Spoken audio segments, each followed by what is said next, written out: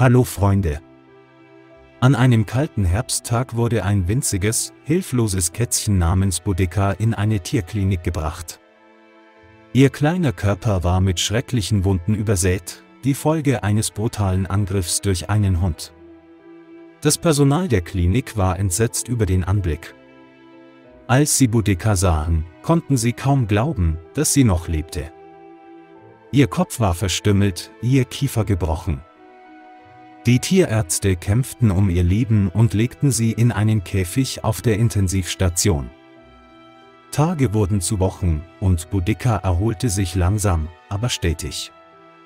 Das Klinikpersonal pflegte sie mit Liebe und Fürsorge und gab ihr Hoffnung auf eine Zukunft. Doch sie konnten sich nicht umhin, sich Sorgen darüber zu machen, wie sich dieses schreckliche Trauma auf ihre Psyche auswirken würde.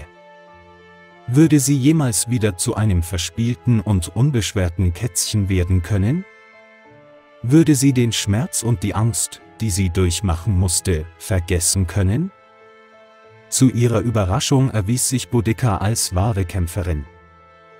Trotz allem, was sie durchgemacht hatte, verlor sie ihren Lebenswillen nicht. Mit jedem Tag wurde sie stärker und aktiver. Und dann, nach einigen Monaten, geschah ein Wunder. Boudica war vollständig genesen. Die Wunden waren verheilt und ihr verspielter Geist war zurückgekehrt. Sie war nicht mehr das verängstigte Kätzchen, das sie zum ersten Mal gesehen hatten. Eine Familie, die von Boudicas Geschichte berührt war, beschloss, sie bei sich zu Hause aufzunehmen. Sie gaben ihr ein neues Leben voller Liebe und Fürsorge. Sie erfüllte ihr Zuhause mit Freude und Lachen und wurde zu einer lebendigen Erinnerung an die Widerstandsfähigkeit und Seelenstärke.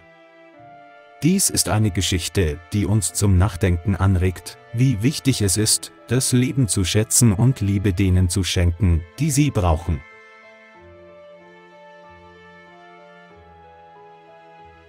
Danke fürs Zuschauen Freunde. Wenn euch das Video gefallen hat, Gebt ihm bitte einen Daumen hoch und hinterlasst eure Meinung in den Kommentaren. Vielen Dank.